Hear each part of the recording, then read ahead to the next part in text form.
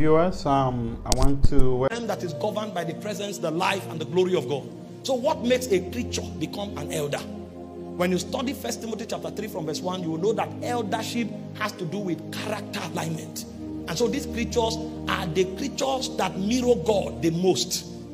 So when you look upon them, their dimensions are an effulgence of the essence of God. And so their age is not in time, it's in light.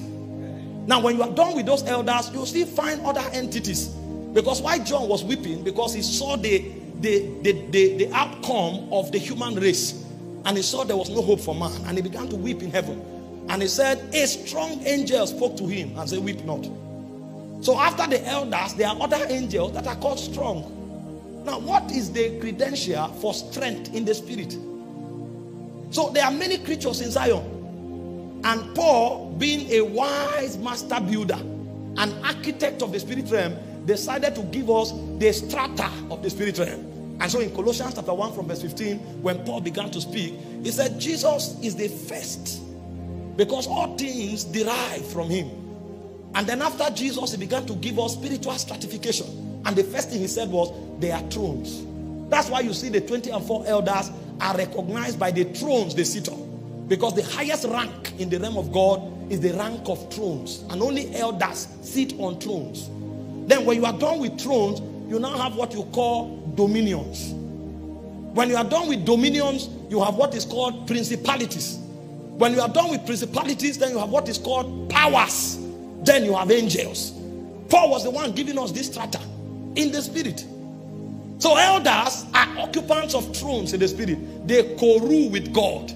They are part of the legislative council of the spirit realm. And so when God wants to embark on a project, he can consult with the elders and tell them, This is what I have in mind. What do you think about it? This is why in the book of Job, the Bible said, when God created the earth, he said, The sons of God sank into creation. Because of the authority they have with God, they've been given the privilege by God to participate in the enterprises of God as touching his agenda.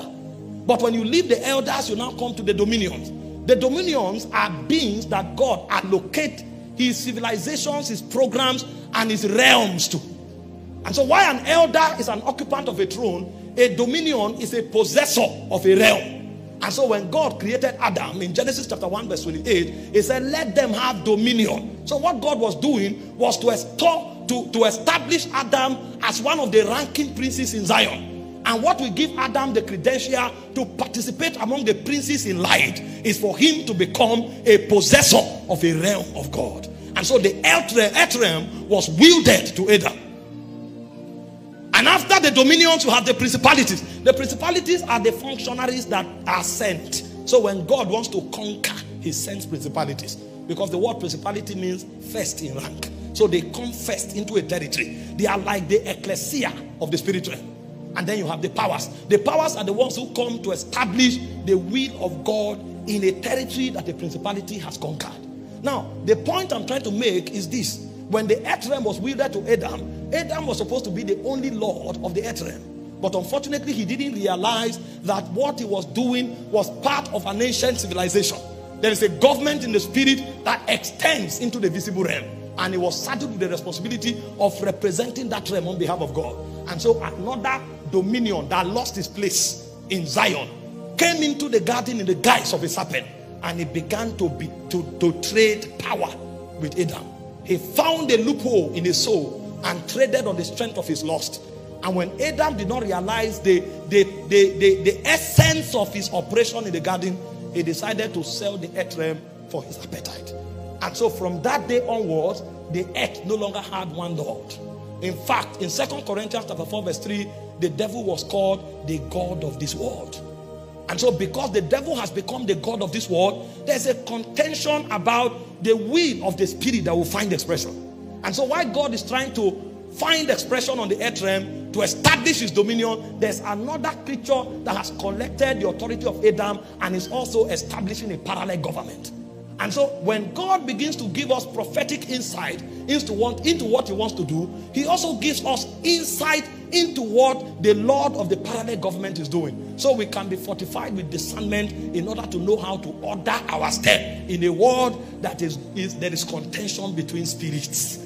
The things that happen in the natural realm is a product of the politics of the spirit realm. There are princes in light contending to establish the dominion of Abba, and there are other princes in darkness also trying to establish the dominion of the new God of this world. And so, why God is giving us a word for this year is to help shield us from all of the invasive strategies of the dominion in darkness. Because if this prophetic word does not come, we'll be without a covering. We'll become porous because we are not the only beings here.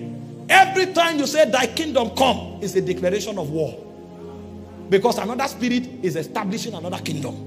And so, if you don't want to become vulnerable, you need to carry prophetic words. Prophetic words becomes the insurance system of the spirit that keeps you advancing the agenda of God, the devil's presence notwithstanding. And so, when God told us it's a year of establishment, we are also aware that the devil is doing something. Because there are many laws on the earth realm. There are many wheels, there are many policies, there are many protocols, there are many agenda that are being targeted to be fulfilled on the earth realm. And so, for a man to fulfill God's agenda on the earth, he needs a prophetic word. So, the idea of the